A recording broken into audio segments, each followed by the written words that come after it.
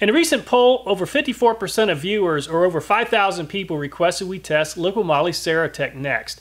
Obviously, it's a very popular additive, but does it actually deliver results? Now, I'm a big skeptic when it comes to oil additives. In the past, we've tested several oil additives, and most of them just don't seem to deliver results. But will Liqui Moly Ceratec be different?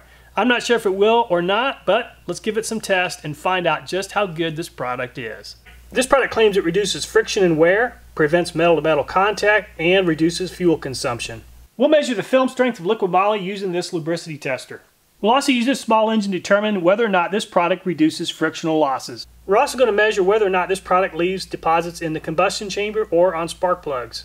We're going to determine if Liqui Moly improves fuel efficiency using this generator. So what exactly is in Liqui Moly? We know that it has some sort of ceramic and there's a CAS number that's referenced, so let's take a look at that. This is the CAS number we just saw. What is the ingredient? It contains boron oxide. So what kind of qualities does boron oxide have? It comes in the form of a pellet.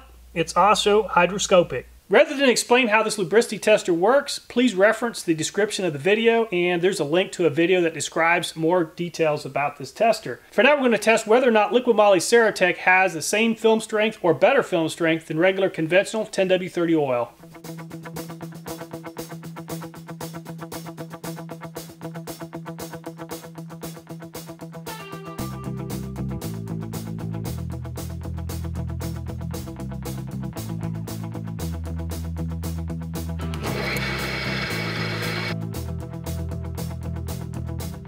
Per the instructions, we're going to use 6% Ceratec with the motor oil. So the top of this white line represents 16 ounces. So what I'm going to do is add 16 ounces of oil and 1 ounce of Ceratec to have that 6% mixture.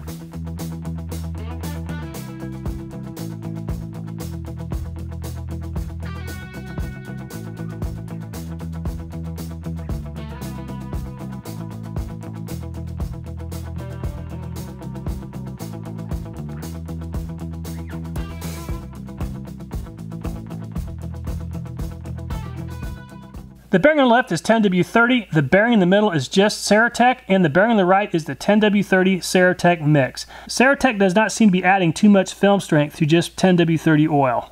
When it comes to oil additives, a lot of additive makers claim that it takes 500, maybe 1,000 miles before the product begins to deliver results. But right off of the Liquid Moly website, I found this article about an individual who used the product and it immediately delivered results. So apparently Liqui Moly is endorsing the product being able to deliver immediate results, and that's what we're going to test today. If you want to see the article for yourself, this is a link to the address. As you can see, this engine has a lot of scoring. The special structure of the ceramic particles fills in the microscopic irregularities in the metal and prevents direct metal-to-metal -metal contact. So I'm going to run this engine a while, take the cylinder head back off, and see if this cylinder wall looks any different.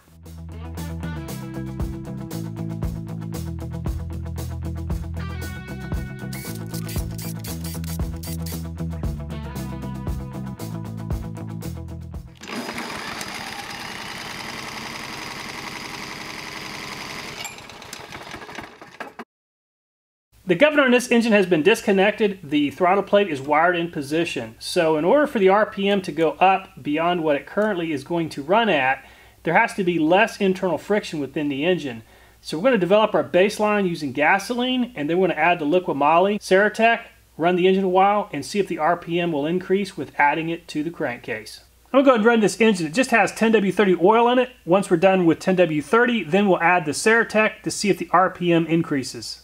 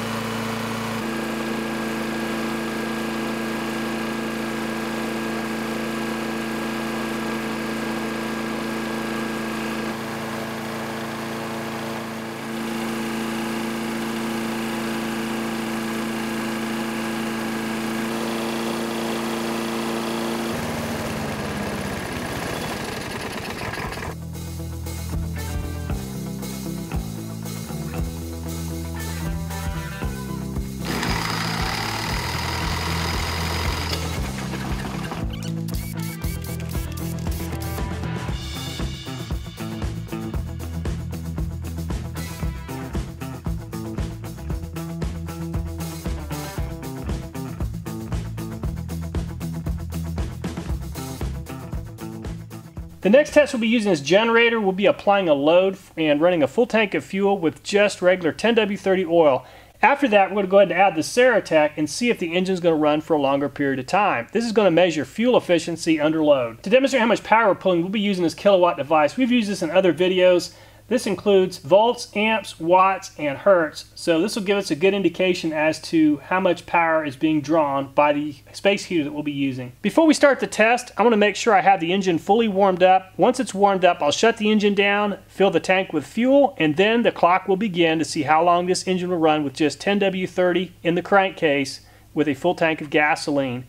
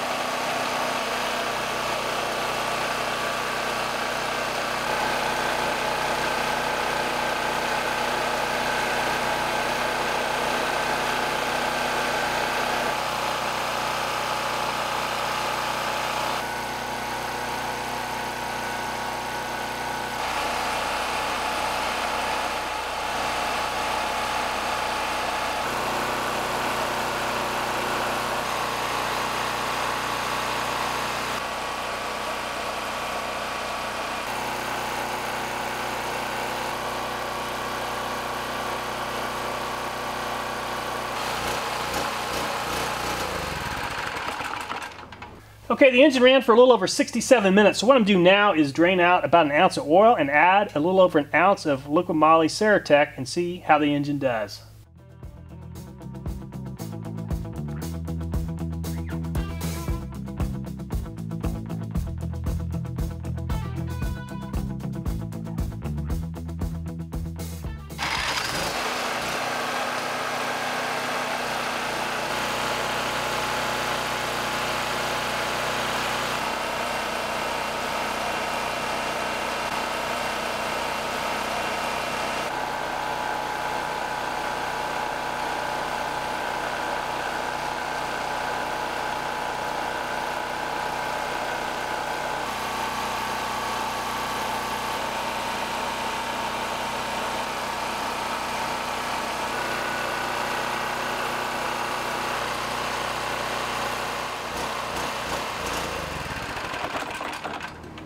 So does liquid moly Ceratec actually work? I think we had some mixed results on that. I will say it works a lot better than MOS2 in my opinion. Now the lubricity test showed it had slightly better film strength than regular 10W30 oil, but we've tested other products that have a lot better film strength. Now once we added the product to the lawnmower engine, it was quite interesting to see that there was an RPM increase showing that there was less internal friction. Now that's one of the things the product claims to deliver on. It appears that it does reduce internal friction. It also claims that it improves fuel efficiency. We tested the product inside the generator and it does appear to improve fuel efficiency by almost 1%. While 1% may not sound like a lot over the course of the lifetime of a vehicle, 1% adds up. The product claims that it fills in microscopic irregularities. Therefore, we ran five tanks of fuel for this lawnmower just to see if it would help regarding the compression. It did not deliver as far as improving the compression. In the past, this engine has had greater compression. Regarding the combustion chamber buildup, there was a lot of buildup on the piston and the cylinder head. I don't want to blame the product for that entirely just because we did run five tanks of fuel through the engine and we normally only run one. Anyway, I'd like to know your opinion on Liquid Moly Ceratec and hear about your experiences with the product. Do you like the product or do you think it's snake oil? Personally, I don't think it's snake oil. I just don't think it's the best product we've tested to date. However, I do think it's a product that delivers on some of the results it claims. Thanks so much for watching the video. I hope you'll like, share, and subscribe. Please take care, and I look forward to next time.